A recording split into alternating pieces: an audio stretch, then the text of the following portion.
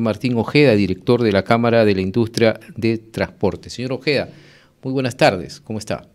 Muy buenas tardes, Saro, gracias por la llamada, a tus órdenes como siempre. Sí, es una situación difícil, se está desbordando este tema, ya comprometidos el sector transporte por eh, estas amenazas eh, de extorsiones. Eh, ¿Cuál es su opinión al respecto sobre este problema, señor Ojeda? Primero, como tú muy bien indicas, que esto ya se salió de las manos. Estas situaciones ya se estaban avisando años atrás en base al transporte ilegal, que como muy indica la policía, en la reunión que hemos sostenido en los últimos dos meses, era lo que se llamaba el falso chalequeo, un tipo de extorsión al transporte ilegal o una pseudo protección que cuando venían los inspectores, cuando venía la policía, cuando venía otra autoridad, simplemente los vilipendiaban, los, ah, prácticamente los masacraban, y era un tipo de extorsión. Y si tú te das cuenta, de un análisis de las primeras eh, amenazas y fallecidos, ha sido el transporte ilegal. Colectivos en la zona del norte, etcétera, etcétera. Pero ahí no acaba el tema. Ellos, por desgracia, al estar dentro de un sistema de transporte que no es el idóneo ni tampoco es legal, ya sabe el trabajo de las unidades de transporte urbano, porque esta problemática se ha centrado en el transporte urbano.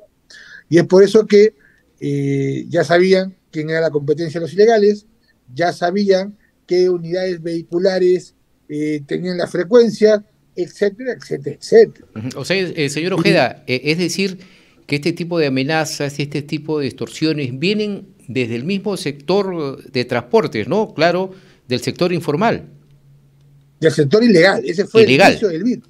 Si uno quiere resolver el problema, tiene que ver dónde nació el virus. En este caso, en el transporte. Es muy parecido al tema de construcción civil. Acuérdate que el tema de construcción civil, que tiene años en esta situación, comenzó primero con construcciones eh, precarias, movimientos de asentamientos humanos, y de ahí comenzó a avanzar hasta tal punto que para hacer una cotización de un edificio está el cupo. Pero es algo que es la triste realidad y eso nadie te está descubriendo la pólvora. Ahora, Lo que sí, como Sí, te escucho. Sí, señor Ojea, eh, hemos escuchado hace unos instantes a la presidenta Dina Boluarte referirse al tema. Eh, nos ha, ella ha dicho, bueno, a todo el pueblo, a todo el Perú, que ya está, se les está respirando desde el cogote, dice, a estos grupos de criminales y pronto va a haber la captura. ¿Le creen ustedes, usted como, como representante, por ejemplo, de la Cámara de Industria del Transporte, hemos escuchado a otros y hemos tenido la opinión de los mismos transportistas que lamentablemente no creen, ¿no? Del actuar de las autoridades frente, y como usted, usted lo ha dicho, ¿no? Esto viene ya de tiempo atrás. Bueno, eh, habría que decir a la, a la presidenta, por la investidura que tiene, que el ciudadano en general, las actividades económicas en general, y en este caso el transporte, yo como director de la Cámara Internacional de la Industria del Transporte, que es un gremio internacional, ya desde hace un año y medio se emitió un documento donde participamos en la ONU, que fue dirigida a todos los gobiernos, para la, la seguridad a las actividades de transporte en general, debido al alto índice de delincuencia.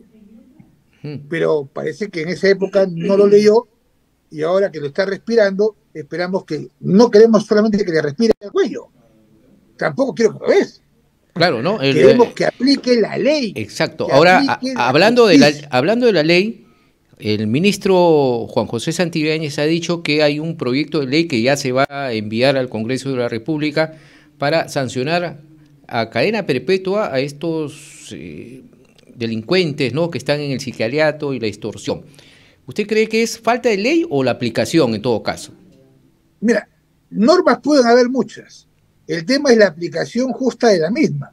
Y actualmente hay un problema que en parte lo está resolviendo la Policía Nacional del Perú, que tiene que ver con el hecho de una unidad especializada, así como fue las Águilas Negras en los años 80 por el tema de asaltos a bancos, así fue como la creación de la GEIN o el GEIN en el tema terrorismo, una unidad especializada de la policía dedicada únicamente a actos de extorsión.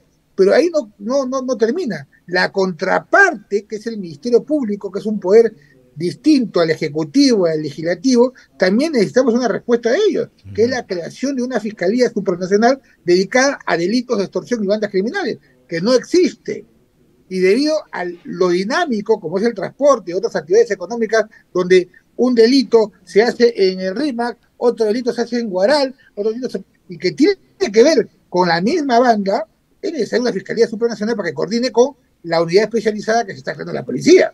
Pero no hay respuesta del Ministerio Público. ¿Por qué? No sabemos. Claro, ¿no? Y, vemos lamentablemente, señor Ojeda, con toda razón usted lo dice, más bien un enfrentamiento, ¿no? Entre la policía, el Ministerio Público, la policía dice que actúa eh, y acusan al, Ministerio Público, a los fiscales a soltar. Acá debe, debe ser un trabajo tripartito entre el Poder Judicial, el Ministerio Público y la propia policía, ¿no? No, acá tiene que estar todos los poderes. Porque el mismo Congreso, una norma para qué? Para que me saque la norma de los otros colectivos y que indirectamente también los protege a estas bandas, porque están con, con, la ilegalidad. Es, un tira por todos lados. Muchos intereses, ¿no? Muchos intereses. Muchos intereses, porque lamentablemente el transporte y todas las actividades complementarias del transporte tienen una falsa liquidez. ¿Por qué decimos falsa liquidez? Porque como ingresa dinero diario, mantenimiento de flota, planillas, seguros, revisiones técnicas, pagos de créditos financieros, etcétera, etcétera, etcétera. Combustible, el más alto de la región. Entonces nosotros nos preguntamos, ¿a dónde va a llegar el transporte? Lamentablemente, esta amenaza de ilícitos no solamente afecta la seguridad, también hace que la calidad, la poca calidad que aún mantiene el transporte urbano, sea peor que antes, porque no van a tener plata para mantenerla. Claro, estamos hablando del transporte formal, ahora de los que eh, estos transportistas informales, justamente veía una información incluso para poner como ejemplo en estos colectivos que se da pues desde lo que corresponde Javier Prado, se van hasta el Callao, hay una especie de estos autos tipo combi chiquitas, ¿no? Eh, que eh, estos son manejados por algunos choferes, pero no son dueños de los vehículos. Y la vez pasada se denunció que solamente una persona era dueño de hasta de 15 de este tipo de vehículos. Entonces hay, una, hay una mafia, ¿no? Muy bien lo indicó, sí, muy bien lo indicó el señor Juan Pablo López del Comercio, en un análisis de investigación que realizó, que habían 12 personas que eran los dueños de la Javier Prado, porque ese fue el título del, del, informe periodístico. Y, pero no se ha hecho nada, ¿no? No se ha hecho nada al respecto y no se hace, o sea que se pone conocimiento, mire, ahora se tiene que llegar a estas circunstancias de muertes, paros, los perjudicados son eh, los usuarios. Escuchaba a una madre de familia con justa razón decir que ella tiene mucho temor incluso que sus hijos se vayan a estudiar y puedan ser víctimas de este tipo de actos violentos, ¿no? Mira, ahí no acaba el problema, ¿no? Porque como tú muy bien indicas, la impunidad es tal vez en el tema del transporte, la madre de todos los errores en el tema de seguridad vial. La impunidad es el peor ejemplo que le puedes dar al, usuario, el peor ejemplo que le puedes dar al que quiere invertir, etcétera, etcétera. Y esa impunidad está tan corroída que estamos viendo la peor eh, situación en estos días. Aparte de eso, eh, nosotros estamos en reuniones, los otros gremios, son cerca de nueve gremios urbanos. Los corredores, el metropolitano, eh, el, la Confederación de Carga, AEMUS, eh, Conexa, eh, Acestraca, Anitra, que, que, abarca un sector de empresas de conducta, así se moleste, que no son del todo idóneas, pero bueno, tiene todo el derecho porque está habilitado. Pero si uno va a hacer un paro por principios, valores, para luchar contra la inseguridad, el cual lo hemos coordinado con el general, lo hemos coordinado con el ministro, o sea, lo hemos expresado, él no tiene nada que ver, lo hemos expresado, lo hemos expresado a la ATU, porque tal como sucedió en Chile, cuando mataron a un camionero, todo el gremio de Atacama, que es el gremio más fuerte de transporte camionero de Chile, paró. O cambias la cosa, gobierno, o nos sentamos acá, todos los camiones. Entonces, eso es parte de una posición que aún no se ha manifestado, pero si sale un gremio que no es el representativo y no ha coordinado con nosotros y ya se está coordinando para bien o para mal con la autoridad, quisiéramos que no seamos los tontos útiles para un tema político o para un tema protagónico. Si quiere postular al Congreso, que lo haga por su nombre. Porque los gremios que te comentaba, a excepción del último, no están vinculados en el paro del 26. Eso es bueno aclararlo. Claro. Lo que sí queremos es una respuesta inmediata del Ministerio Público. Así es. Y si esto se demora, ahí todos los gremios, porque es un tema fundamental, la unión, no que se llame unión, sino la unión como sí, Claro. que se establezca un paro No, no, no, no hay otra forma, este señor Ojeda, ¿no? No hay otra forma porque desunidos pues no, no se va a llegar a nada. Claro. Ahora, eh, señor Ojeda, estamos hablando de Lima. ¿Cuál es la situación en el interior del país? Mira, nosotros no hemos analizado el tema de, de otras ciudades, salvo el tema de Trujillo, que fue muy convulsionada en los últimos meses, donde había una muy buena gestión de la policía, y queremos que se replique en Lima y Callao, que es el caso de transporte urbano. ¿no? Ahora, eh, siempre ahora se está hablando ante situaciones violentas, de criminalidad, eh, declaratoria de emergencia. ¿El transporte se podría declarar en emergencia, señor Ojeda? Explíquenos, por favor.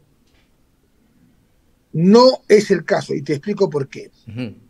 Porque hay muchos Pepe el vivo, y no confundamos la crisis que estamos sufriendo. Hay muchos Pepes el vivo que ante la alta ilegalidad, y que son siendo ellos ilegales, y con el apoyo de sus amigos los congresistas, no todos son malos, hay re malos, están esperando una, una, pero una eh, estado de emergencia en el transporte para que saquen todas las normas que ellos quieren. Otra cosa es que el Estado, a través de sus funciones, declare el estado de emergencia en la ciudad por tema de convulsión social, que es distinto.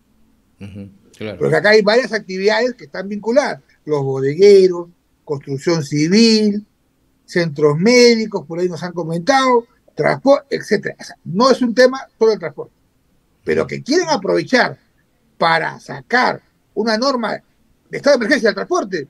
Hace algunos años los ilegales están como locos por sacarla porque quieren sus normas de manera inmediata. Y creo que eso no le va a hacer bien a que invierte con la norma y por su estabilidad jurídica y su inversión realizada. Así es, ¿no? Quieren llevar agua para sus molinos. Ahora, finalmente, señor Ojeda, eh, usted eh, es director de la Cámara Internacional de la Industria del Transporte. ¿Cómo estamos nosotros los peruanos aquí en lo que respecta al transporte comparado con otros países de la región?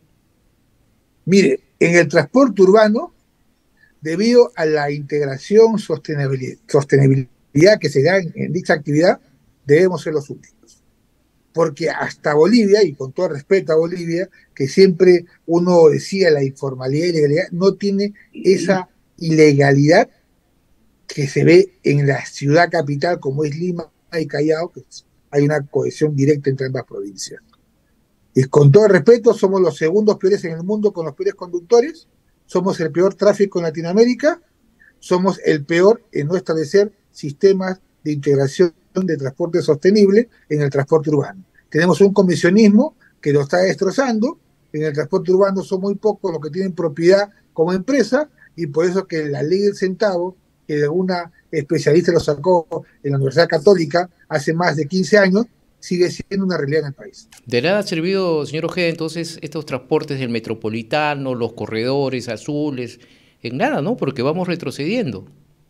Lo que pasa es que si tú sacas un porcentaje de cuánto equivale el corredor y el metropolitano en el transporte de 11 millones diarios en Lima y Callao, solo equivale al 8, al, 8, al 9%. Uh -huh. El tren, 4%. El resto, transporte tradicional, que entre ellos hay gente que sí quiere salir adelante, pero también hay gente que quiere mantener el status quo. Y el status quo es ser el virrey de, de afiliados, donde se preocupan de cobrar y no se preocupan de la calidad del servicio. Se han reunido con el ministro ya del Interior, ¿no? El señor Santibáñez. Sí, nos hemos reunido el día de ayer, el día sábado de autogrupo, el día de hoy de autogrupo.